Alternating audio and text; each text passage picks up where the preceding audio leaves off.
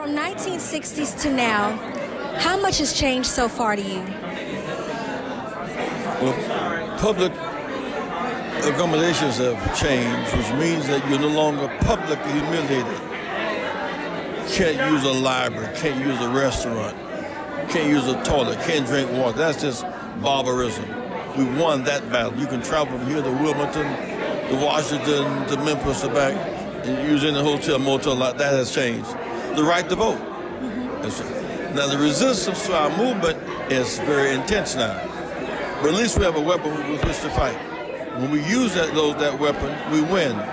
That's the value. That's the, the, the, the that's the lesson in Alabama and, and Virginia because we once can only hope to win. Now we can vote to win. Well, the Greensboro Four were heroes to those of us who were at Dudley High School.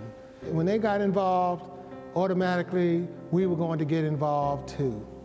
It's kind of interesting when I think back because I was really afraid. And then back in May of 1963, when we should have been graduating from high school, well, we were out marching. And so we blocked the entrance to the, uh, the S&W cafeteria and would not let people come in or out, so they put us in jail. There were so many of us there, students, that uh, the sheriff couldn't feed us all. He was bringing out peanut butter and jelly sandwiches. So the doctors, the lawyers, the preachers, the ministers, and people like that in our community started cooking food, good old fried chicken, down-home food, and bringing it down there to the polio hospital. And as they started to feed us, they had to feed the jailers too because the jailers were having a hard time standing there watching us eat all this good food. These were 18 year old young men and students who were 17, 18 years old, even some of the high school students here. So, no, I don't think you ever know that. Uh, but all you want to do is while you do your work and what you do, you want to make sure that you do what your heart tells you to do is the right thing to do. And then to look back and see this impact. I was the first African American woman elected to the Greensboro School Board. I'm the first African American woman to uh, represent the 12th Congressional District. Hopefully, we'll be able to look back many years um, later and see some of the impact that we've made. What did your daughters learn about your father, your, their grandfather? Mm-hmm. Uh, well, through me, mm-hmm. and uh, to to this day, I really don't think they understand like I do. Mm-hmm. You know, it took me a while. They both have seen the, the statues uh, over at A&T that I remember when they were unveiled, and and when they they uh, took the sheet off of it, and I I saw it for the first time. I looked up, and it was cloudy.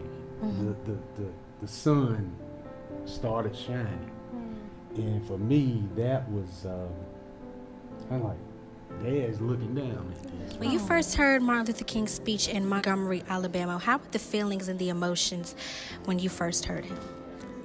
I was excited. I had heard about him, I had read about him, and I was waiting to have an opportunity to meet him in person mm-hmm. and to hear him speak. And, and of course, this the first time I heard him, he was preaching uh, at his church, and uh, I really enjoyed that. That evening, I was standing in, living in Maryland Hall, and I decided I was going to see him. So I sneaked in the chapel, went up in the area where the choir stand and crouch stand, and when he was speaking, I was looking at him. Do you believe that there should be more change in the union working and the process of that? More change in the unions working, yes. Uh, we, we have to, as, as, a, as a political entity in a democratic society, uh, have to be more engaged in the public policy side of, of, the, uh, of the government's activity. Some of you may know who I am, while others don't. And if you don't, my name is Charlotte Forten. I was born into a wealthy black abolitionist family in Philadelphia, Pennsylvania.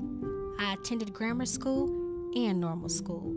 I developed a love for poetry, mostly which focused on anti slavery.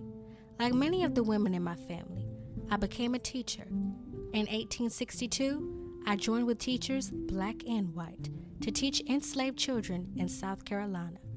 I was determined to change the lives of all African Americans and promise my people freedom and education. It was a hard task nonetheless. Recruiting new students, I came across my first student named Jacob, who was very determined and well rounded. I also did more activist work besides the one I did in South Carolina.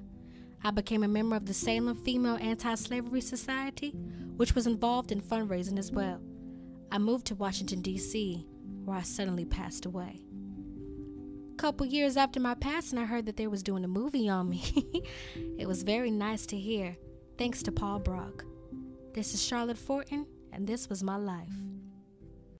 Good afternoon. My name is Meredith Jenkins, and welcome to Black History Minute. Today's inspiring black woman is Sarah Breed, but we all know her as Madam C.J. Walker. Madam C.J. Walker was born on December 23, 1867, near a plantation in Delta, Louisiana. She was born a free slave with her parents who died early, but since she was only seven years old, she was sent to be raised with her sister and brother in law. They moved to Vicksburg, Mississippi, where they all picked cotton on a plantation. In order to escape the rough environment, she married a man named Moses McWilliams at the age of 14 and started a new job, earning only 150. Eventually, Madam C.J. Walker became the first African American woman to create her own line for women of color. She was inspired by herself when she suffered from scalp ailment that led to her losing some of her hair, which inspired her to make remedies for black women. In 1905, she created her remedies. In 1908, she owned her own factory and sold her products around the world. She died in 1919 at the age of 51 from hypertension. But Madam C.J. Walker, we sisters, we appreciate you and your self-made contribution to the African American women.